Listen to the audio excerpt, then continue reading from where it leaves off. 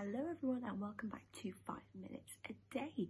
Hopefully you were able to complete yesterday's challenge of spending 10 minutes in silence and solitude and just giving God time to speak to you and waiting on him and hopefully you were able to meet with him in those moments.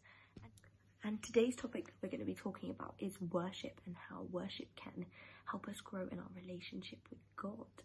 And we're going to focus on two main areas. Firstly, how to worship and secondly, how we can use our talents and our gifts in worship and to worship God. So firstly, we're going to kind of talk about how to worship and where to worship. Uh, a lot of people think that worship just takes place on a Sunday in church when everyone comes together and yes, worship is a part of that, but worship is so much more as well. And we can take part in worship daily, and we should be taking part in worship daily whether you play an instrument or sing or don't think you are very musically talented at all, it's still so good to worship God and just put some worship music on and find a place where you feel free to just worship Him and also stepping out of your comfort zone when you are worshipping Him and just using your bodies to just praise Him and give Him the praise that He deserves. And sometimes it is a bit kind of like you're looking around in a bigger setting like church and oh I don't know if I should raise my hand but it isn't about that. It's about you and God in that moment and just worshipping how you feel comfortable whether it is raising your hands whether it's just closing your eyes or standing there still.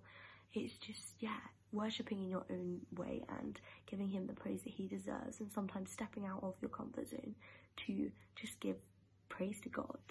Secondly we're going to talk about how we can use our gifts and talents to worship God and we're all so uniquely and wonderfully made that we all have so many different talents and we should be using those to bring glory to God and give him praise through using our talents. Now, if you're thinking, oh, how could I use my talents or I don't have any talents to worship God with, that's not true. Everyone has so many different talents and they're all so unique and different from one another. And I kind of wanted to talk about Ephesians 2 verse 10 quickly and just read that to you and it says, For we are God's masterpiece. He has created us anew in Christ Jesus, so we can do the good things He has planned for us long ago.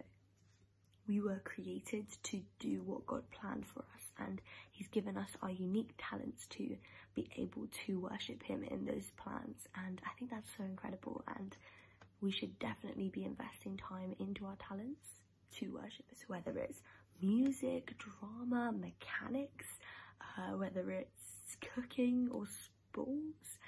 There's so many talents that we can use to worship God, and it's just pressing into those talents and seeing how God wants us to use them and praying when we are doing those things, whether it's before we go and do a drama performance, praying to God, or before we're about to do a big game, uh, whether it's netball or football, something like that.